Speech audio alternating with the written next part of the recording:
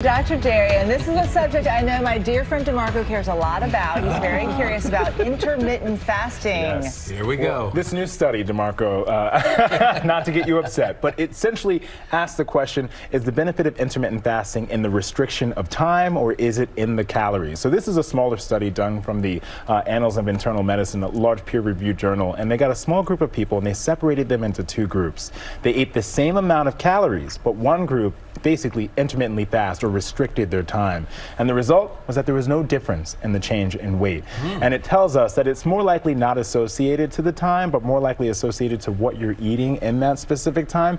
But it doesn't discount the benefits of intermittent fasting, which have still been theorized. The theory is that it helps with your insulin insensitivity, which can help reduce your risk of type 2 diabetes and so on and so forth.